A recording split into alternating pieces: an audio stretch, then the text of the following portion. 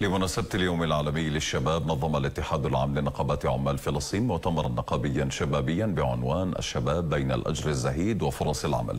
ذلك بهدف الإضاءة على واقع الشباب في سوق العمل وتقليل الفجوة ما بين المؤسسات التعليمية واحتياجات السوق. على شرف اليوم العالمي للشباب وفي ظل ما يعيشونه في فلسطين من ضغوط اقتصادية واستهداف احتلالي لهم بالقتل والاعتقال. نظم هذا المؤتمر النقابي الشبابي بعنوان الشباب بين الأجر الزهيد وفرص العمل بتنظيم من الاتحاد العام لنقابات عمال فلسطين بالتعاون مع جامعة القدس المفتوحة ووزارة العمل والمجلس الأعلى للشباب والرياضة بتمويل من منظمة العمل الدولية بهدف الإضاءة على واقع الشباب في سوق العمل الفلسطيني. اليوم بتعرف اليوم ذكرى ليوم الشباب العالمي. وإحنا عندنا هون وضع كارثي للشباب نسب بطالة عالية عدم وجود أماكن عمل. الشباب بيلتجئوا لسوق العمل الإسرائيلي حتى للمستوطنات. فإحنا معنيين أنه نطلع بتوصيات وخطط.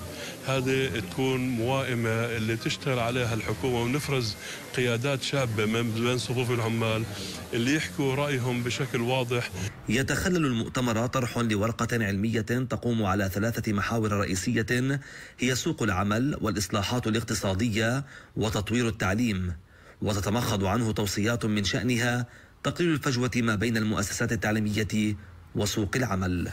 بالحقيقة اليوم هذا الملتقى والمؤتمر الذي ينظمه اتحاد نقابات عمال فلسطين بالتعاون مع وزارة العمل ومنظمة العمل الدولية والجامعات الفلسطينية وبالذات جامعة القدس المفتوحة آه، هو يوم آه، نصبر فيه أغوار هذه الإشكالية التي يعاني منها المجتمع الفلسطيني والشباب الفلسطيني ونتيجة عدة عوامل وظروف.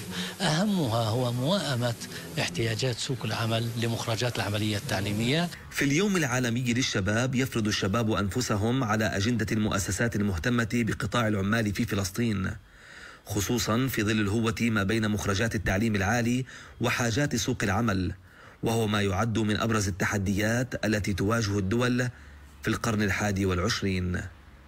بكر عبد الحق تلفزيون فلسطين.